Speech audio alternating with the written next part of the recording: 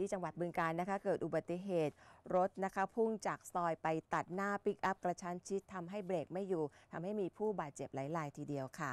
อุบัติเหตุครั้งนี้เกิดขึ้นที่ถนนสาย 212 บึงการหนองคาย ระหว่างกิโลเมตรที่9ถึง10 หน้าศูนย์การศึกษาพิเศษบ้านหนองแวงตำบลวิสิต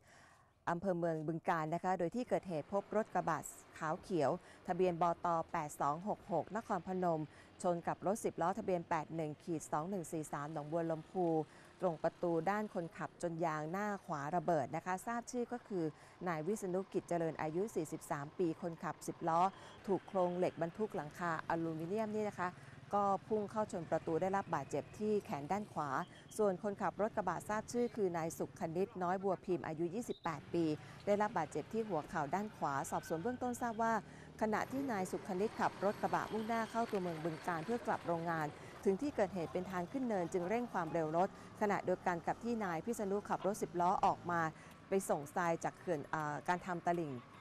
ทางนะคะ เข้าขับพุ่งออกจากถนนใหญ่เพื่อเลี้ยวขวา แต่ว่าไม่พ้นค่ะ จึงถูกปิกอัพที่วิ่งมาด้วยความเร็วเบรกไม่อยู่ พุ่งชนเสียงดังสนั่นจนได้รับบาดเจ็บกันทั้งคู่นะคะ ก็ต้องมาสอบสวนหาสาเหตุกันต่อไปว่าเป็นการขับรถโดยประมาทกันหรือเปล่าค่ะ